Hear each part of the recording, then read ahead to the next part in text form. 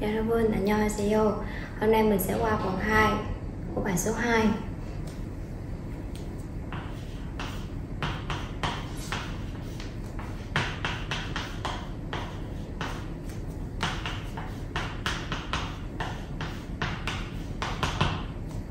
Itaewon에 살아요. Tôi sống ở Itaewon.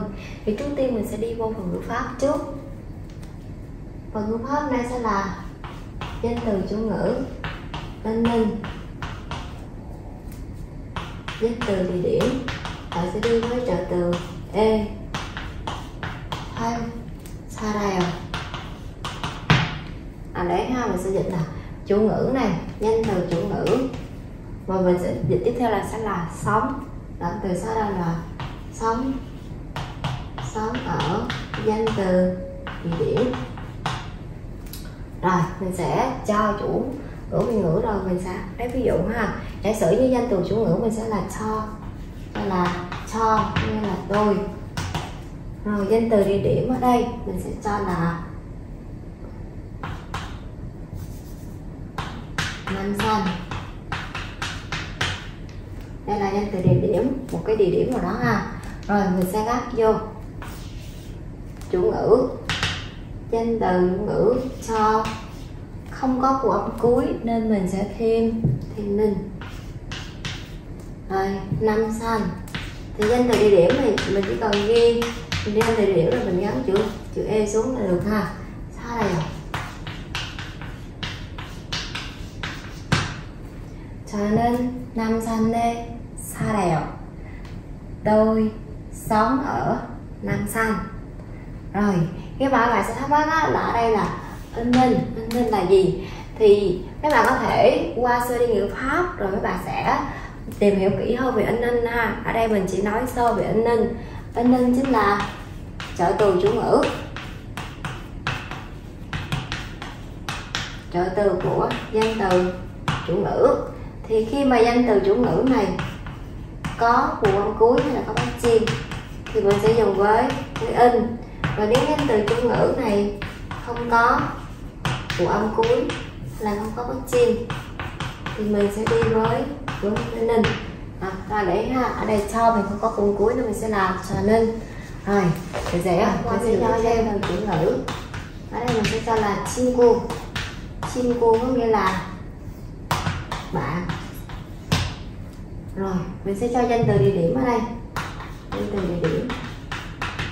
Đây là à, Sinchon địa phương các bạn có thể lấy danh từ địa điểm luôn được có thể lấy danh từ địa điểm giống như là bình dương đồng nai việt nam các bạn lấy đâu cũng được ha. Miễn là nơi của các bạn đang sống. Vậy thế đây rồi mình sẽ viết ra câu ghép vô. Chim chinku danh từ chủ ngữ là chim cù chim chinku ở đây mình xếp trước mình đã nhắc rồi ha. Xếp mà xếp một yeah, từ vựng nào đó có của âm cuối hay không mình sẽ xét chữ cuối cùng.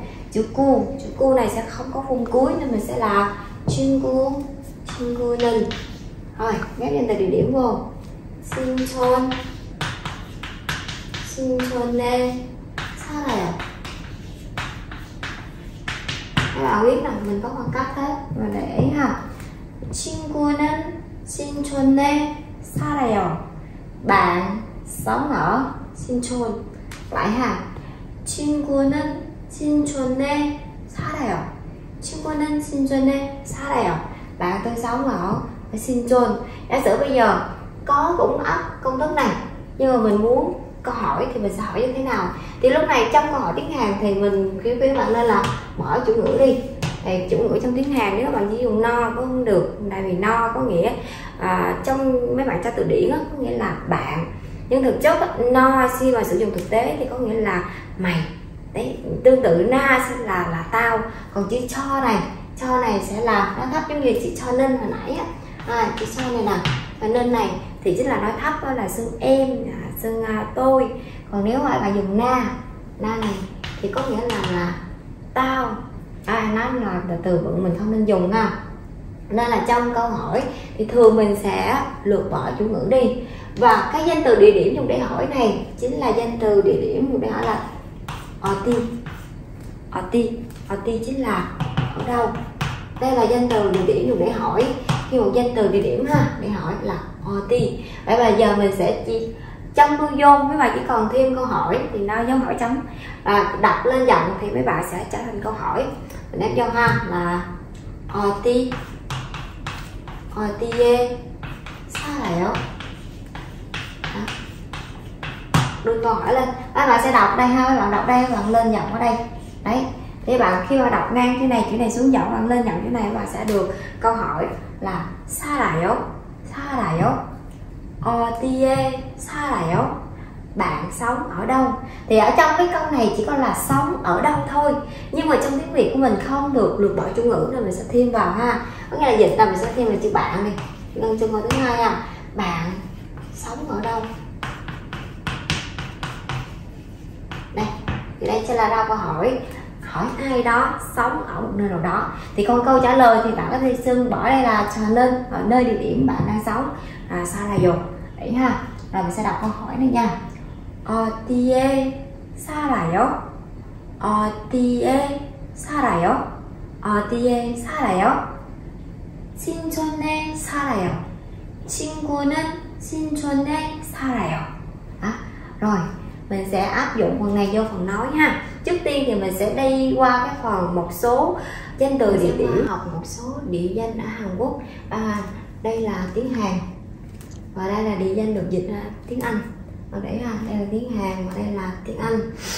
Rồi trong tất cả cái này các bạn chỉ cần để ý cho mình cái chỗ này nó sẽ bị biến âm. Mình không đọc là te h rô và khi mà phụ âm cuối khi mà bắt á kia gió mà gặp phụ âm liền kề là riêng thì hai cái này đều bị biến âm hết thì cái cái dốc này mấy bạn sẽ bị biến âm thành yên còn cái này sẽ biến âm thành là miên nên cái này không đọc là th rô mà mình sẽ đọc là th nô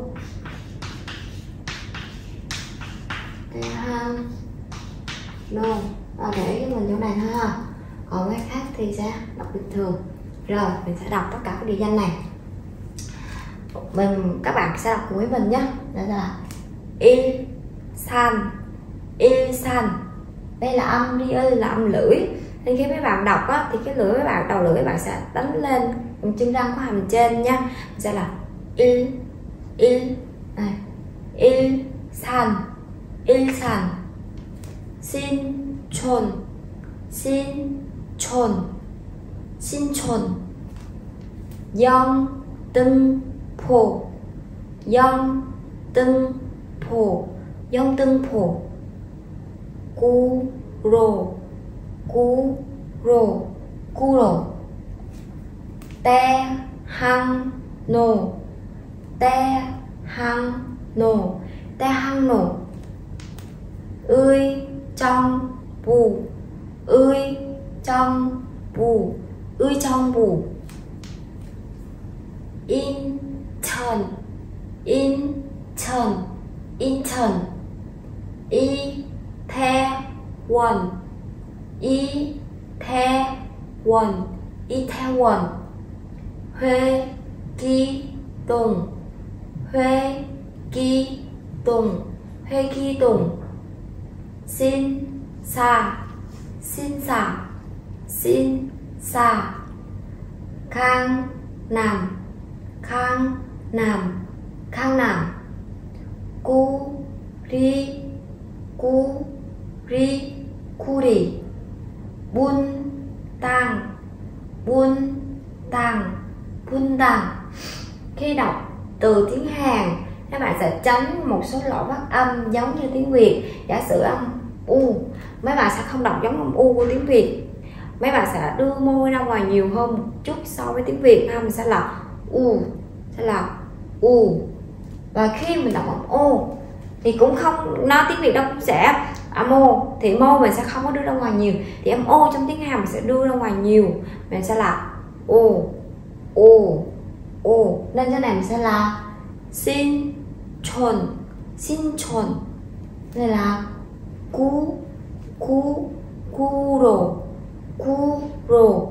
Các bạn để ý ha. Rồi mình sẽ đọc lại một lần nữa. Đọc lại một lần nữa.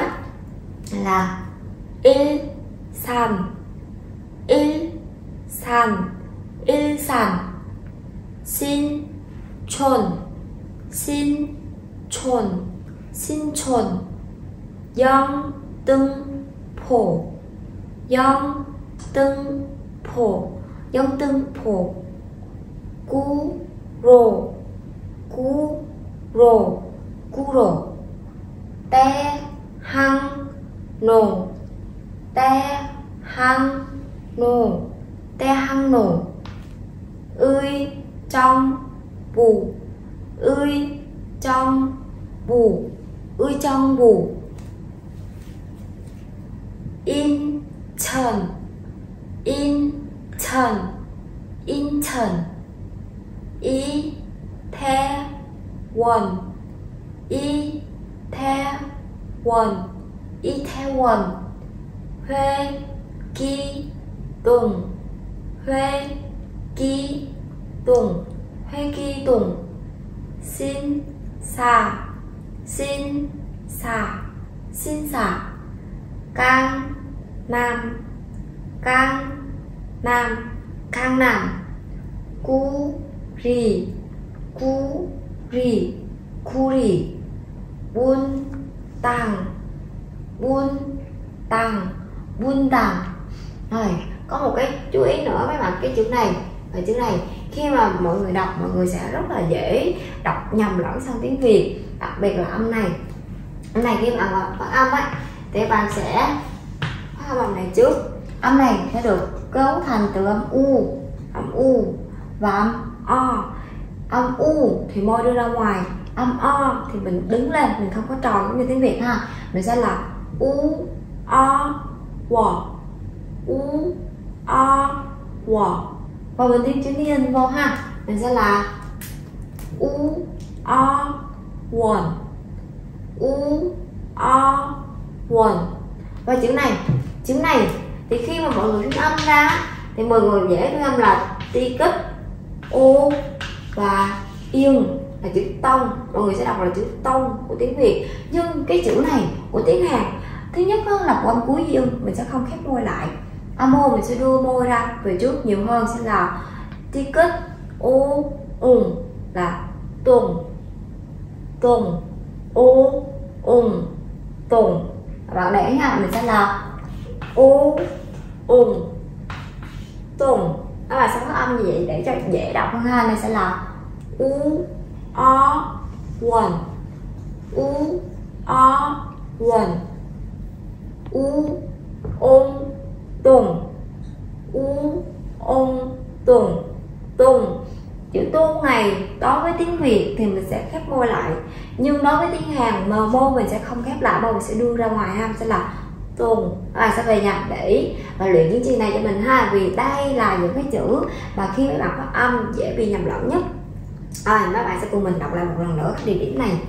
Là il san il san il san xin chôn. Xin chôn. Xin chôn.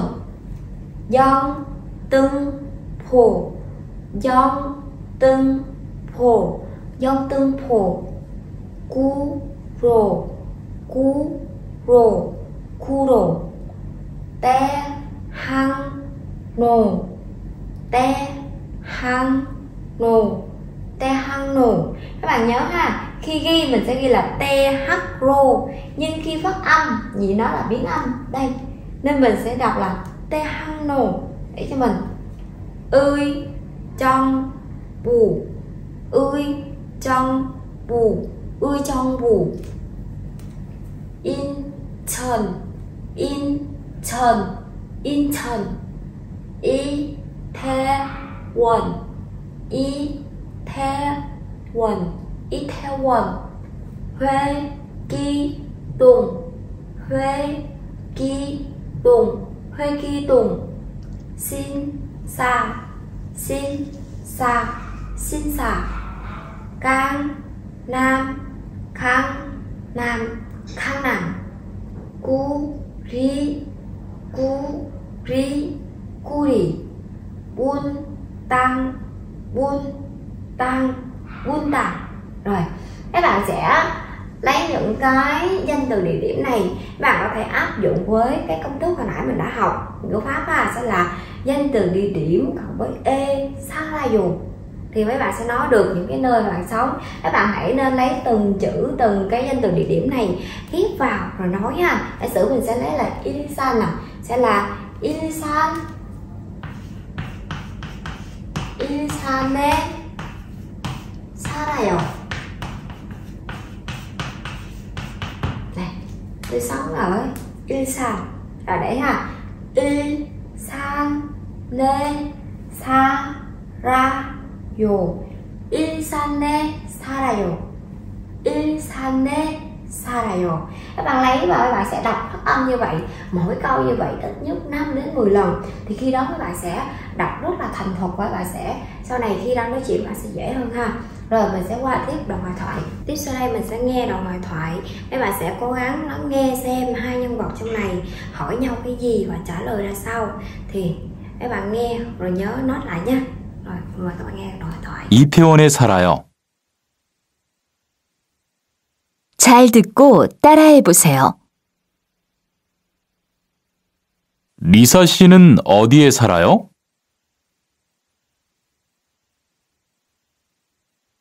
신촌에 살아요.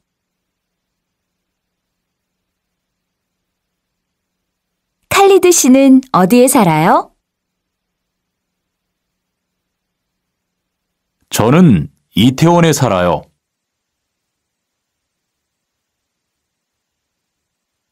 다시 듣고 따라해 보세요. 리사 씨는 어디에 살아요?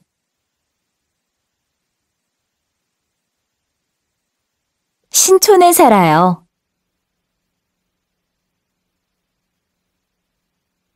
칼리드 씨는 어디에 살아요? 저는 이태원에 살아요. À, sau khi mình nghe đoạn hội thoại thì mình sẽ thấy ở đây là có hai nhân vật nhân vật thứ nhất là Lisa nhân vật thứ hai là Kylie Tư hai nhân vật này hỏi nhau về cái nơi mà các bạn đang sống và đáp án trả lời mà bạn đang sống ở đâu thì mình sẽ áp dụng theo cái ngữ pháp mà mình đã học ở phần đầu bài 2 này ha mình sẽ là áp dụng nè ở đây là chủ ngữ mình sẽ đây là chủ ngữ tiếp theo, ở đây là danh từ địa điểm và ở đây là động từ.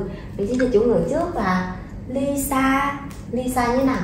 Lisa đang đang sống sống ở đâu vậy? Thì vì đây là câu hỏi nên mình sẽ thêm từ để hỏi vào ha. Lisa đang sống ở đâu vậy? Thì bạn này có trả lời, bạn không có bạn lược bỏ cái phần chủ ngữ rồi. Có nghĩa là lúc này bạn trả lời có nghĩa là trò lên thì bạn đã lược bỏ phần đó. Thì bạn chỉ có danh từ địa điểm và với động từ sarayo. Thì mình sẽ dịch, do dù tiếng Hàn có lược bỏ chủ ngữ, tiếng Việt các bạn cũng phải bỏ thêm chủ ngữ vào, tùy theo hoàn cảnh đoạn hội thoại như thế nào. Hay là sau này các bạn ra không nói chuyện, thì hoàn cảnh đó dụ như thế nào, các bạn sẽ thêm chủ ngữ vào trong câu. Mình sẽ không được dịch bỏ chủ ngữ ha. Nếu dịch bỏ chủ ngữ trong tiếng Việt của mình sẽ trở thành một câu nói trống. Mình sẽ mất lịch sự ha. Mình sẽ dịch nè. Mình sẽ thêm chủ ngữ trước là tôi hoặc là mình nếu sử dụng là bạn bè đúng không? Tôi tôi sống sống ở Sinchon à, tôi sống ở Sinchon rồi bắt đầu bạn ấy trả lời xong rồi bạn ấy hỏi lại cái bạn kia là bạn Khalitu Khalitu đây là chủ ngữ đúng từ Khalitu Khalitu nghĩa là Khalitu sống ở đâu vậy? À, Khalitu sống ở đâu vậy? Thì bạn ấy trả lời bạn này là có đầy đủ chủ ngữ luôn. Đây chủ ngữ đúng chưa bạn sống sống ở Itaewon đúng chưa? Tôi sống ở Itaewon à, để ý cho mình ha. Ở đây là thắc mắc là tại sao tên là Lisa mà lại gắn chữ C vào? Thì trong người Hàn á thì người người ta sẽ không gọi cái tên không ha. Mình sẽ gọi cái tên cộng với chữ C để tính ngữ một ai đó tính ngữ một cái tên đó. Và thường nếu mà chữ C này có là dấu phẩy thì mình sẽ dịch là cái tên đó cộng ơi à giống như là mình gọi phải đó. Còn nếu mà ở sau cái si này nó không phải là dấu phẩy mà nó thêm là in nên thì mình chỉ dịch cái tên đó thôi. Các bạn để trong hai cách dịch ha. Nên mình để ở đây sau sau cái tên là Sinin đây nên mình sẽ dịch cái tên thôi là Lisa. Ở đây là Kali Sinin thì sau này cũng là in ninh nên mình chỉ ví dụ ở phải đây là là- Lisa không phải là Lisa ninh mà giả sử mình bỏ dấu phẩy đây là Lisa mình phẩy một cái. Thì mình sẽ dịch là Lisa ơi và sau này, vì nó, đây là dấu phẩy đó là một cái phía rời nên mình sẽ dịch câu này bỏ thêm chủ ngữ vào là bạn sống ở đâu vậy? Ở đây cũng vậy. Ở đây không phải là Kali tư si nên mà mình là Kali tư si. Cái mình phải một cái, phải cái ở đây thì mình sẽ dịch là Kali tư ơi. Để cho mình hai cách dịch nha. Rồi, bây giờ mình sẽ qua đọc đọc đoạn hội thoại đây nha. Các bạn sẽ cố gắng đọc theo mình đọc càng nhiều càng tốt. Vì khi mấy bạn đọc mấy bạn mới có thể nói được. Và khi mà mình cho bài tập mấy bạn cũng sẽ đọc như thế. Mấy bạn à, hạn chế ghi ha. Vì ghi thì mấy bạn có thể học bằng viết. Đó là series viết riêng. Còn đây là series nói nên mấy bạn hãy cố gắng nói thôi. Nói thiệt nhiều càng nhiều càng tốt. À, mình sẽ đọc ha. Ly sa si ninh o ti e. sa ra yo mình sẽ liếc thẳng lên không à sa ra yo Lisa 씨는 어디에 살아요? các bạn có thể ngắt ở đây để bạn ngừng lại nha các bạn chứ nếu nhiều khi mấy bạn hơi ngắn đọc một lượt ngoài cái hơi mất nên là mình sẽ dịch từng cụm ra từng cụm ra để mình đọc ha là ly sa si 는 어 ti e sa, ra, yo. Li sa si nen ở ờ, ti e sa, ra, yo. Xuống đây nào. Xin chôn nê những lần. Sa, ra, yo. Xin chôn nê, sa, ra, yo. Là có tiếng hát này. Xin chôn nê. 살아요. 신촌에 살아요. xuống nhà ha. 칼리드 씨는 어디에 살아요? 칼리드 씨는 어디에 살아요? 칼리 드 씨는 어디에 살아요?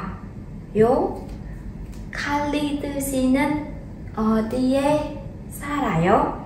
khi các bạn đọc các bạn cứ đọc từ từ ha mình đọc quen miệng thì lúc đó mình sẽ đọc nhanh được mình đọc giống như là khi các bạn đọc nhiều lần đọc từ 20 đến 30 lần trở lên thì các bạn có thể đọc là 칼리드 씨는 어디에 살아요 thì lúc đó nó sẽ rất là tự nhiên. Nhưng mới đầu các bạn cứ đọc từng chữ đọc từng từ đọc từng cụm. Rồi sau này các bạn đọc quen các bạn đọc nhanh thì các bạn sẽ đọc hay thôi. À, các bạn không cần phải phải gấp rồi mình sẽ đọc tiếp theo. Cho nên y the won nền miếng lên xa ra dù. Cho nên y theo quên nè 살아요 저는 이태원에 살아요 저는 이태원에 살아요 rồi mấy bạn sẽ đọc lại cùng mình một lần nữa nhé 리, 사, 시, 는, 어, 디, 에, 사, 라, 요 리사 씨는 어디에 살아요? 리사 씨는 어디에 살아요? 리사 씨는 어디에 살아요? 신촌에 살아요.